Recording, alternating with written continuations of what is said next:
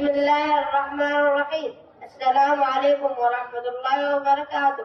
في هذه الأيام السعيدة نحتفل وأرثر- وأرثنا العظيم ولأن ما نظهر به من لباس يعكس غنى ثقافتنا بالنقوش والأزياء المتنوعة من مناطق المملكة المختلفة التي تميز هويتنا وتراثنا. نقدم لكم إذاعتنا اليوم بعنوان لبسنا. من ثمانية أزياء تراثية للرجال. تتنوع حسب المناخ والمنطقة وتتميز أزياء النساء حسب المنطقة ويجتمعن في اللباس المحتشم والمزين بالألوان والخص مع تغطية جزء كبير من الشعر وتعد الحناء من أهم الزينة التقليدية للنساء في السعودية فعادة ما تزين به الأطراف والأصابع وكف اليد إضافة إلى باطن القدم للرجال والنساء. هل تعلم والطالب فاتح مدح هل تعلم أن صناعة الملابس في السابق في السابق أصواف الحيوانات وبر- وبرها؟ هل تعلم أن البش الذي كان يرتديه الإمام محمد بن سعود يسمى بش البرقع؟ هل تعلم أن أغلب مناطق المملكة يرتدي الرجال فيها ثوب المهودن وهو الثوب الطويل الأكمام؟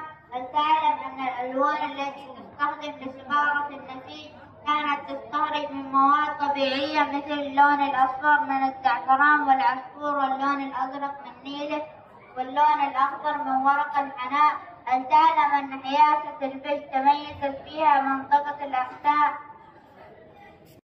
بالختام نسأل الله أن يديم علينا هذه النعم وأن يجعل هذا التراث محفوظا.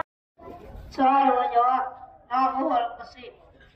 الجواب العقاب عندما يبدأ التاريخ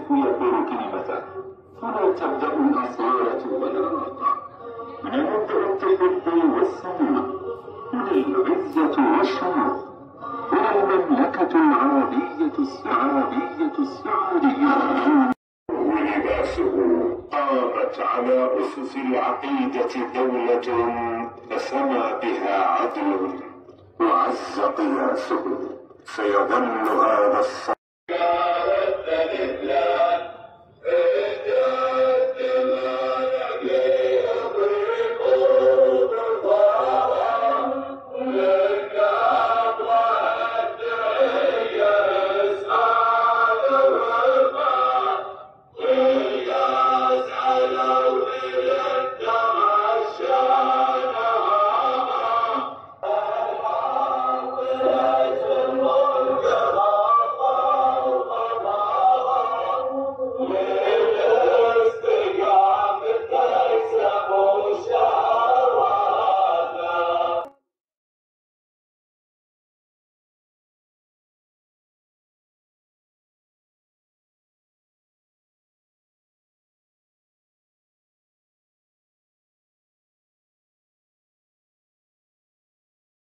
ووكيلها وبلسان كل طالب.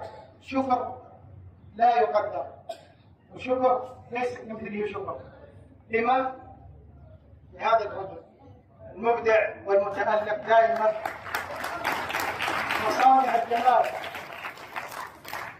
وصانع الابتسامة والإبداع الحقيقي.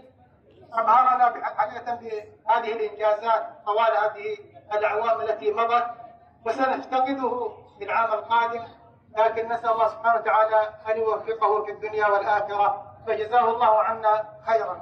فلا نستطيع مكافأته ولكن يكافئه الله سبحانه وتعالى. وفقه الله ووفق الجميع وصلى الله وسلم على نبينا محمد. أشكركم جميعا على حضوركم وعلى مشاركتكم في هذا اليوم زملاء المعلمين وأبناء الطلاب. شكرا جزيلا لكم على مشاركتكم. ما شاء الله تبارك الله. وهذه مأدبة آه، التأسيس اللهم زد وبارك. أصناف متنوعة من الأكلات الشعبية. تحضر اليوم في مدرسة قائم الدش.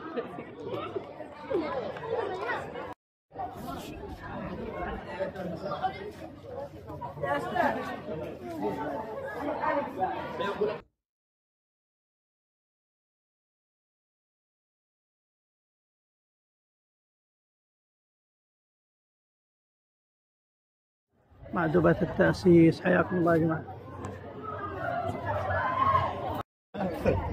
تفضل تفضل. وين